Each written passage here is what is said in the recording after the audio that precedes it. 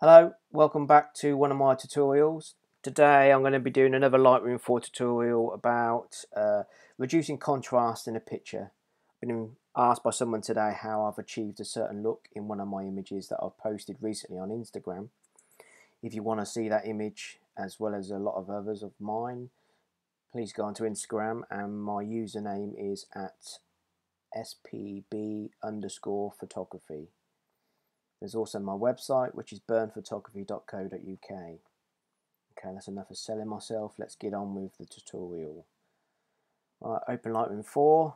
Here is the image that I'm going to be showing you. This was the before using my Canon 550D and this was after editing in Lightroom 4. Now I'm going to go back to the beginning of the war image. Um, when I finally finish the image, it might not look exactly like this, but it'll look pretty much similar to it. And I'll show you how I've achieved to get the grass popping as good as it does down the bottom here and standing out a lot more. So let's go to the beginning.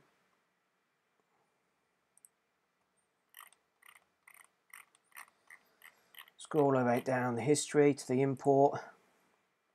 Okay, here's the image that it was imported off my camera.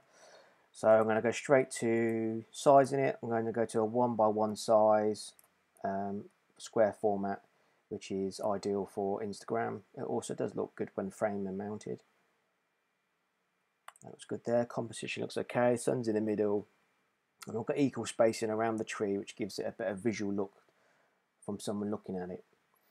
Okay, I'm going to up the exposure a little bit, just like that uh, down the contrast slightly. This, this is doing the whole of the image. Uh, but now I'm going to start just concentrating on the bottom part, which is the grass. So I'm going to use, uh, not that, I'm going to use the filter, the graduated filter. And I'm going to drag from the bottom all the way up. I'm just going to use a hard grad on this.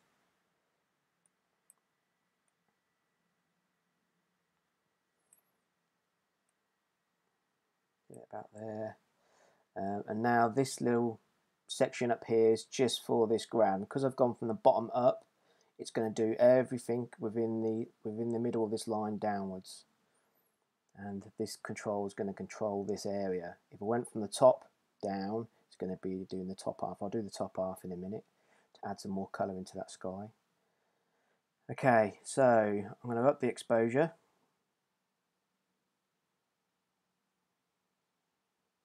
A bit like that. The grass is green here, so I'm going to add a little bit of green filter to it just to make the grass stand out slightly a bit more. I'm going to bring down the contrast, up some highlights, up a little bit of a shadow, clarity a little bit more just to add just fine detail more of the grass, it will sharpen out a little bit more. Some saturation, and some sharpness. Um, I think we've got about that, yes. I mean, if once I've done the whole picture, I can always go back and change it if I want to. Okay, so I'm going to do the sky now. So I'm now still selected, so I'm going to just drag and drop, which is going to then form another graduated filter. There you go. Make sure it's levelish and what I want to come down to is about the same about the middle of this dot before. Okay like that. So I want the sun to look more yellow the sky so I'm gonna go I mean you can go blue with it um, I'm gonna go yellow. And bring down the exposure a little bit. Just play around the contrast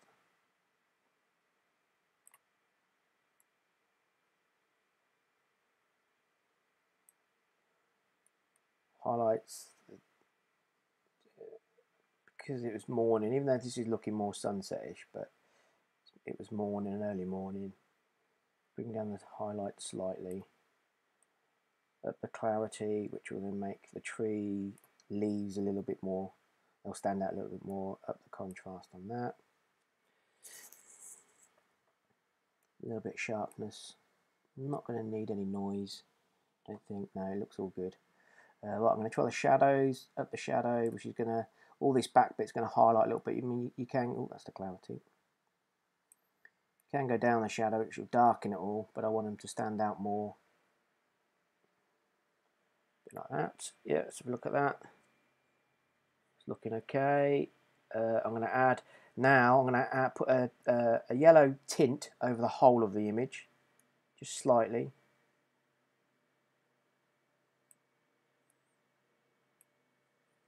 Yeah, a bit like that. And now let's play around again with the whole of the image. Bring down the highlights slightly more. So look at the shadows, up them a little bit. Whites, bring them down. Blacks. I mean, the more you go up there, you're just going to lose it. So you don't want too much black because you want to want the contrast to stay in the grass, give it some depth of field as well. Uh, yep, like that. Slight bit of clarity, some vibrance, a bit more saturation to add some more colour to it all. There might be a slight too much saturation there, but I can change the yellow. I mean, I like this bit, but I can change the yellow later on down in these sliders at the bottom. Let's play around with the highlights. up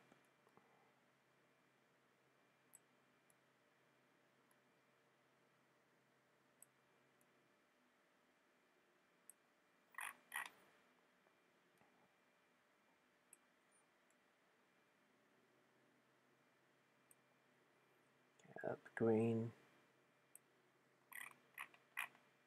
I'm going to up the luminance of the green as well. if I up it all the way,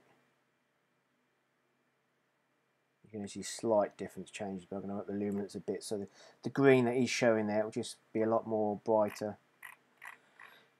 Um, I'm going to go to sharpening, I'm going to sharpen it up to about 70 which again makes it all stand out. I mean, if I use this, go to the grass, you can see in this little box, see how blurred it's gone there, and I'm going to sharpen it. So go up to about 70. Uh, detail as well, add some detail to it, which is going to again make all this area just stand out more, give it more of a 3D image effect, and then it's got some depth to it. Up a little bit of noise, because there is noise now in this, but um, for Instagram sakes, you're not going to see much to that. Because I've been messing around with the colours, using up in the colours, some colours will be uh, mixing in with each other. This just blurs them out to make it more one colour. You might not see it too much here. No, you're lucky you don't see it too much on this one. Um, remove the chromatic aberration which you get a lot more when you're doing long exposures so you won't see it here but I always check it anyway. Uh, let's see if I put a vignette on it.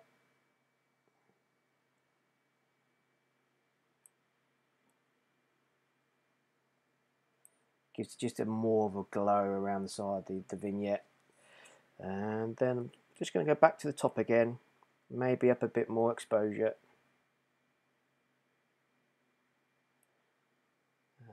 Yeah like that.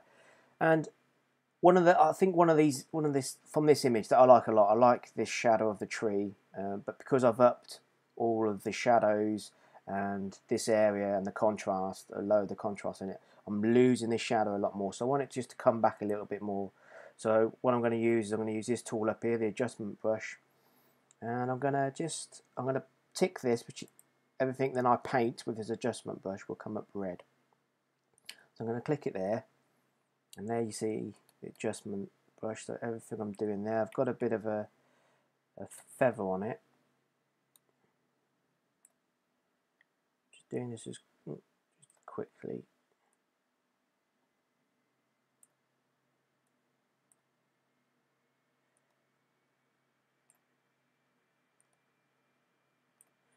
Okay so I'm going to uncheck that. That red will disappear and now I'm just going to up the contrast a little bit from there. Take down. You see what I've just painted.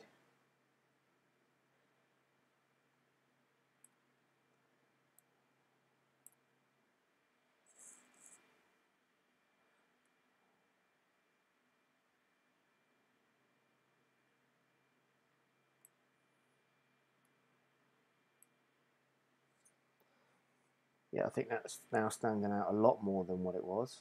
I mean, we can go back to that. See that, how it's disappeared, and then if I go back to where I am, just how that comes back in again. Yep, liking that a lot. Okay, and that is about it. Let's have a look to see.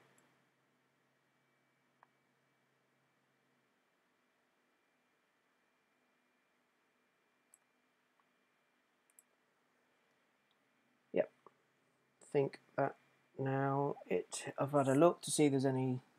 I mean, the bird is there. It's not doing any purpose there. So what I'm going to do, show you quickly how to use the. Uh, got the word of it. Let's have a look what it's called. Oh, the spot removal tool. Do it so many times and still forget the word. Okay, there's the bird. Now you see it. Click on it. Move to an area. Say over here. Let go. And the heal will blend in all the colours around to make it um, so you, you just won't know. Blending all the colours together. If I did clone whatever is in this circle that I'll do second, it will then copy whatever's in that circle. But with heal, it will mix it all in to give it the best possible match of the same colour. Okay, so I've done that. Sorry, bird. Zoom back out. And there we, there we go. That's, we have it. Let's go back to the before and after. There's the before. There's the after. All by using Lightroom 4 it's imperative that everyone shoots in a raw format because when you're using software like this, you need you need it to be raw. So um, you could do more editing to it, a lot more editing to it. Thanks very much for listening. I hope this was informative again. Please like and subscribe if you like what you're seeing. Leave some comments. Um, and hopefully in my next tutorial I might do a black and white one to show you how I've achieved some of my black and whites. Okay, thanks very much, everybody. Take care and hope to hear and see from you soon. ta